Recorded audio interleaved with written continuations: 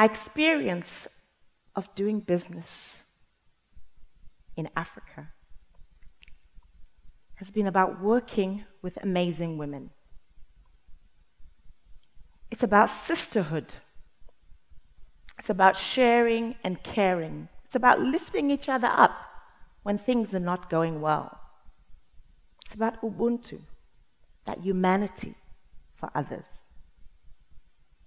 It's that almost gotcha feeling that we get. I think it's magical. So, a lot of people will say, well, it's not unique to Africa, but it's Africa that we're talking about. And I think there are elements of it that are very much about Africa. Women on this continent have been gathering to do business since time. We've been getting together to share ideas, and we've almost been hustling to make sure that we're looking after our children and meet, making ends meet.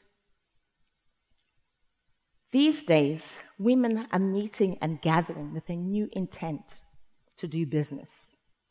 We're no longer happy to start small businesses and have our businesses stay small. We really want to make sure that we make an impact on this continent that is ours too. So I attend a monthly women's meeting. I'm very honored to be included in this gathering of businesswomen. These are businesswomen that are turning over multi million rands per year. Some of them are turning over multi million dollar worth of businesses. They gather with an intent to support each other. So these meetings I actually put together under the slogan Moving Further Together. The meeting starts with the women sharing around the table. They talk about business, personal, as well as family. It's a holistic approach to looking at you and how you run your business. The women share their successes and their challenges, and we look at new opportunities. At one of these meetings, I did my share, and as part of my share, I also talked about a business opportunity that had happened. Me and two other women business owners had come together and we'd started a business. So we hadn't just talked about starting the business, we'd actually done the strategy. We'd done the inevitable WhatsApp group to actually make sure that we're talking on a regular basis. And we'd registered the business. So I talked about the business opportunity. The opportunity actually came out of being in matchmaking meetings with corporates. And we'd heard the corporates on one side talk about the challenges they had about meeting business owners, and we had the women business owners on the other side talking about the challenges they had. And we decided there's a business opportunity in this. So we put together a business. Anyway, I shared this with the group, and the meeting went on. A few weeks later, I was in my office juggling meetings and reports as we do, and my phone rang. I answered the phone, it was from one of the ladies from, from the group. Uh, she hadn't called me before, even though we knew each other from the group and we'd met in the group. I'd never received a call from her before. So we talked. Once the pleasantries were done, she told me that she had some money to invest in our business app. I was actually quite emotional and surprised. This was really about sisterhood, not only about somebody listening to you and saying, This is a great idea, but she then said, Okay, here's some funding. This is a really great idea. Move ahead with it. For me, that's part of the narrative of the sisterhood that we have in Africa. We're not just saying, I support you, but we do the physical support that often goes with it. So after the paperwork was drawn and the the money was then deposited into the account. we decided that we would employ a woman business owner, an IT expert, to actually develop the app. So, therefore, almost completing the circle of sisterhood in business.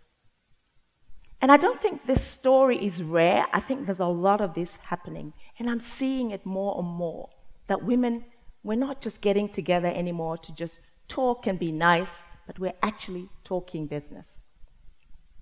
I can give you quite a few more examples of the sisterhood that, that's happening around us. So we talked about women gathering. Uh, I also sit on the board of an organization that trains on entrepreneurship. The organization is a global organization. I sit on the Africa board, and they teach financial literacy and entrepreneurship and work readiness to youth. Actually, teaching youth in work to look at the entrepreneurial ideas around them in their environments and putting them into projects, and in a safe environment, being able to develop those projects. Each year, we have a Company of the Year awards for this. And what we're finding is that more and more girls are coming through in these teams. In 2016, of all the teams that came through from the 16 countries representing Africa, 76% of the teams were girls. And these girls are articulate, they're savvy, they're coming through with really smart ideas. I think we need to know this as women entrepreneurs and as adults, because these are the entrepreneurs that we're going to be handing the baton over to. And some of these projects are really amazing. So, one of the most memorable projects for me in 2016 was another girl team. They had actually come up with a tea that, had been, that they'd beautifully packaged um, and beautifully branded. And the tea helps with menstruation pain. When I asked the girls how they came up with this idea, one of the girls said her grandmother had told her about this leaf that they used to pull out in the village where she lives, crush it, and then put hot water in, and then they would drink it, and it helped with menstruation pain. That's indigenous knowledge meeting entrepreneurship learning. Looking back a little bit, I used to work at the CSIR, and one of my favorite projects at the CSIR was when we worked on IKS knowledge, indigenous, indigenous knowledge systems. The IKS practitioners were predominantly females. I was amazed at how they came together. They didn't talk about Ubuntu, they practiced it in everything they did. Their willingness to share their knowledge and actually allow the Science Institute to take that knowledge and put it into modern day science was amazing to me. What it taught me was that we had this amazing knowledge on this continent. We could bring it into modern day times, and it provided the key to our prosperity. And often we don't realize how much it does that. And all of us have been given some of these keys to knowledge, often by parents. My mother and grandmother were very entrepreneurial. Even from the way they taught us how to work in the kitchen and cook amazing meals, or the way they helped us to make our homes places of absolute nurturing. And of course, the knowledge they passed on in how we raised our children is amazing. And I think a lot of that information is knowledge we need to think about when we're doing business. A lot of it is solutions to today's issues and today's problems that we need to look at. So I also am involved with an organization that identifies, registers, and certifies women owned businesses. We help these women to meet the marketplace, corporate members. The idea of the meetings is not just to get together and talk, but to actually make sure that these women can sell to the corporates. The businesses that register with us are small, medium, and large. They have opportunities to actually sit and have matchmaking meetings with the corporates. So for those who certify their businesses, and we've got currently got 55 companies that have certified their businesses from the database of 700 companies. The 55 have an opportunity four times a year to have matchmaking sessions with the corporates. In these matchmaking sessions, they actually have an option, an opportunity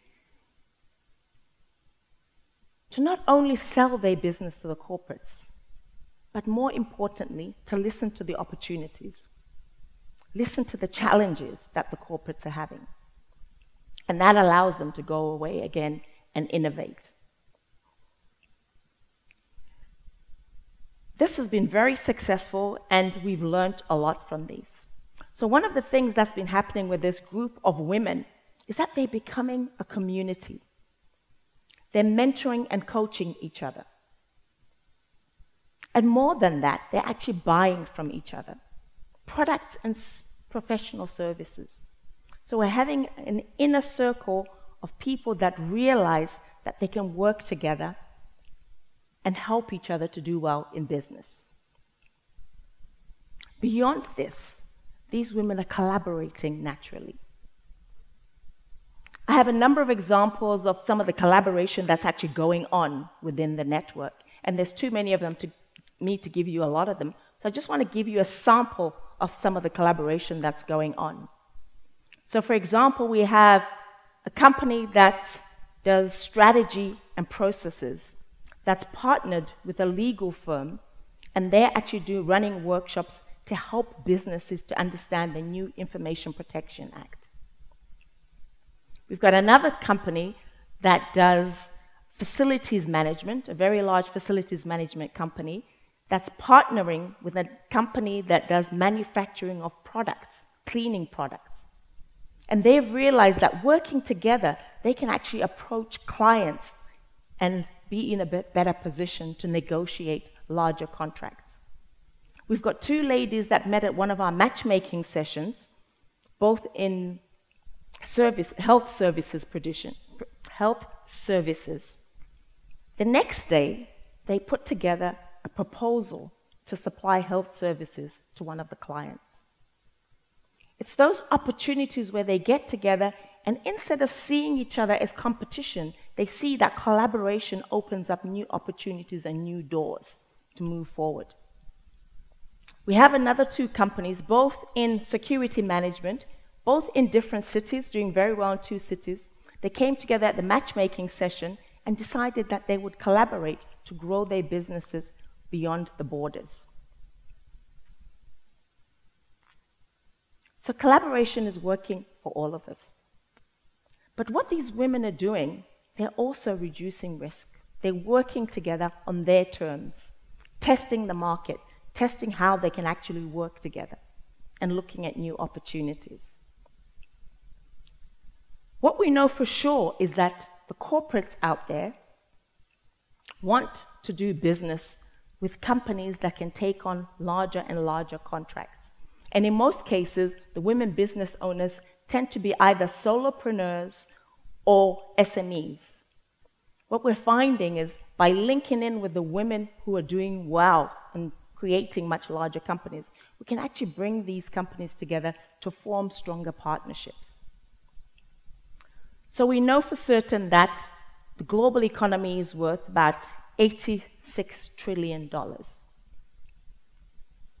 Of that $86 trillion, apparently women impact about $20 trillion in spend. Yet, we only get 1% of consumer purchasing from the large corporates and government. And it's not because women are not creating businesses. Up to 39% of the world's small businesses, privately owned businesses, are women owned.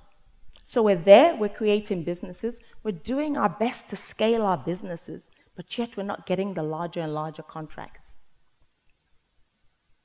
So, we talked about collaboration, we've talked about sisterhood, we've talked about how women are coming together to do more. We want to make sure that women get together to get a larger slice of that cake. That $86 trillion cake that's out there. We know for certain that it's been shared by the male businesses, and we get the crumbs, and often we're left to fight over the crumbs.